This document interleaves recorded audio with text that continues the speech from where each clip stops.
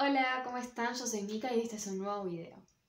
Bueno, hoy les voy a contar las 5 cosas que yo creo que son las mejores acerca de ser azafata y las peores 5 cosas de ser azafata de micro, porque de avión estudié para hacerlo, pero todavía no pude trabajarlo. Empecemos por las malas, que creo que primero siempre hay que empezar con lo malo, así terminamos con lo bueno, ¿no? La primera es que vas a tener que acostumbrarte a dormir mal. Sí, hasta que uno se acostumbra va a dormir mal. El principio pasa que tenemos horarios rotativos, entonces generalmente vos podés llegar a dormir de noche, pero te tenés que levantar a las 2 de la mañana, hacer algunas cosas, a las 3, a las 5, entonces tenés el sueño muy cortado, tenés que aprovechar cada minuto para dormir porque después vas a estar cansada. O sea, depende cómo sea tu itinerario, generalmente llegás al lugar, descansás unas horas y volvés. Y no siempre tenés la posibilidad de descansar en el lugar al que llegás. A veces puedes llegar retrasado o hay otros problemas, no sé, tenés tus compañeras de cuarto que no te dejan dormir, entonces hay que tratar de dormir lo mayor posible en el micro y no siempre es lo mejor. ¿Por qué? Porque tenés que dormir en dos asientos individuales. Con individuales me refiero a los asientos de semicama que son más chiquitos pero ocupan dos lugares. Bueno, esos dos son tuyos. Básicamente tenés ese lugar solo para dormir. Si te toca un viaje copado y vas con poca gente, bueno, por ahí puedes estirar las piernas a los asientos de enfrente. Yo siempre dormía acostada, horizontal en los asientos y me acostumbré así. Pero nada, te volvés una persona muy histérica viajando, créanme. Dos, así como tenés que lidiar con esto del sueño, también tenés que lidiar con el tema del baño. Y así vas a tener que compartir un baño con a veces 60 personas, a veces más, a veces menos.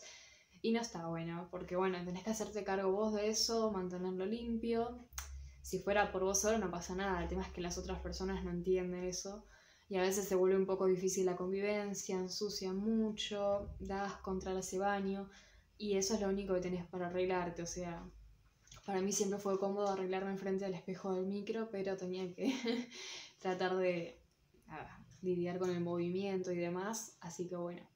Ese puede ser un obstáculo. Hay que tener cuidado porque por ahí nos podemos agarrar infecciones o alguna cosa si no se mantiene bien la higiene. Pero no es algo que pase seguido, tranquilos. 3. Lidiar con la gente.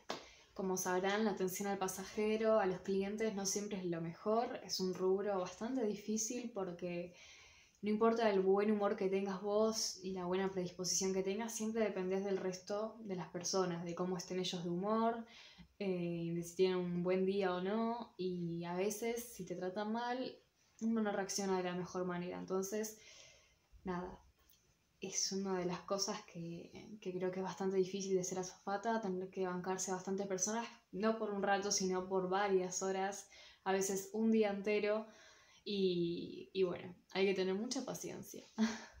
Cuatro, llevarte mal con tus compañeros. Sí, en realidad viajando en micro, por suerte, es una, por suerte. A veces es bueno, a veces es malo.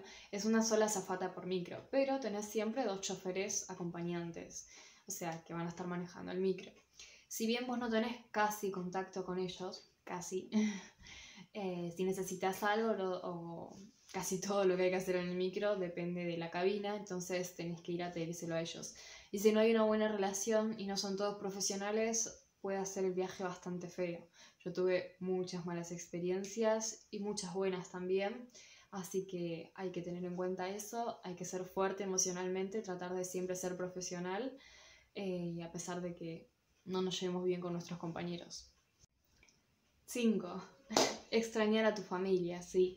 Depende de la relación que tengas con ellos, puede ser algo bueno o malo viajar. Si te llevas bien, lo vas a extrañar bastante, hay veces que los ves un ratito nomás, un día por semana, dos días, y puede ser algo bastante feo. Yo me acuerdo que cuando arranqué no tenía la mejor relación con mi familia, entonces, por un lado, sin hablar mal, era un descanso, porque nada, no nos veíamos tanto, entonces mejoraba un poco la relación. Pero después me mudé con mi novio y no coincidíamos nunca, nos veíamos re poco y era bastante frustrante eh, no poder vernos, la verdad que no estaba bueno. pero nada, son cosas que uno ya sabe cuando acepta este trabajo, pero téngalo en cuenta porque a veces puede importar mucho y te dan ganas de dejarlo todo. No saben cuánto tiempo yo quise dejar, estaba buscando otro trabajo, lo que sea, con tal de poder estar acá en mi casa y ver más seguido a mi novio. Otra cosa mala a tener en cuenta, que no lo dije, es que van a pasar muchas fechas afuera. O sea, uno no es que puede elegir cuándo estar y cuándo no. A veces se puede arreglar con mucha anticipación, pero no siempre es certero. Entonces puede ser que pases bastante cumpleaños afuera, que no coincidas en los cumpleaños de tus conocidos o en otros eventos. Ténganlo en cuenta. Y bueno, ahora vamos con las cosas buenas. La primera. Eh, si bien no es el trabajo mejor pago en el mundo y te pagan un sueldo que está bastante copado una vez que tienes antigüedad, pero el sueldo en sí no es lo copado, sino que como te la pasas viajando, no gastas tanta plata en comida. Depende de lo que comas, puedes comer lo que hay en el micro básicamente que te dan y no gastas en otra cosa porque te dan viáticos. Eh, listo, toda esa plata puedes traerla de vuelta. Ahora, después de viajar cierto tiempo adentro, obviamente que ya te pudrís de la comida porque es casi siempre lo mismo y bueno, la mayoría opta por comprar y terminas gastando. Pero la verdad que yo ahorraba bastante plata, o sea, era mucho más fácil porque vivía fuera de mi casa, entonces no gastaba tanto en comida o cosas. Dos, obviamente tenés la posibilidad de viajar a muchos lugares, todo depende de la empresa en la que estés, los viajes en los lugares a donde vayas, pero generalmente vas a conocer lugares que no conocías, es muy lindo, entonces nada, hay que aprovechar esas experiencias porque no siempre se tiene la posibilidad de viajar, no es algo fácil y bueno, eso es algo muy bueno. Yo entre los lugares que nunca había viajado o que no conocía fui a Paraguay, a Chubut, Santiago del Estero, fui a Misiones, hay que tenerlo en cuenta. Tres, vas a conocer un montón de gente, ya sea como pasajeros o compañeros, porque van rotando en cada viaje y vas a tener muchísimas nuevas amistades. La mayoría son gente buena, copada, que nos ayudamos entre todos, entonces es algo bueno también, tenés más contactos. Es más difícil también llevarse porque, bueno, chusmerío y eso hay en todos lados, pero nada. Cuatro, el uniforme. Eh, yo creo que cuando las personas te ven con uniforme te respetan un poquito más. O sea, no es lo mismo ir a comprar o donde sea que vayas así con ropa casual que estar con un uniforme parecido hacia la zafata o bien formal. Las personas te tratan diferente, como que te da un toque más de relevancia, de... como le quieran llamar, pero te tratan un poquito mejor generalmente. O sea, te hace más sofisticado aunque no lo seas. Y eso es algo bueno para muchos aspectos. Yo me acuerdo que iba a comprar y la gente me trataba mejor. Entonces eh, es algo positivo, igual que los trámites en la aduana y demás. A los pasajeros, a la gente que va a hacer los trámites, no digo que los tratan mal, pero es como muy anti el trato. En cambio, con nosotras eran muchísimo más amables. Quinta, podés conocer al amor de tu vida. Arre.